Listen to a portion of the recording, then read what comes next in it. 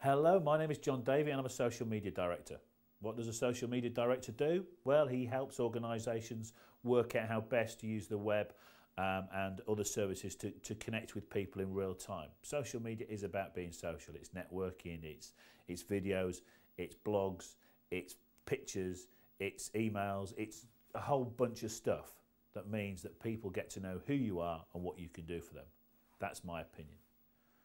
This particular video clip that we're putting together here is about video clips, funny enough, reversing into itself.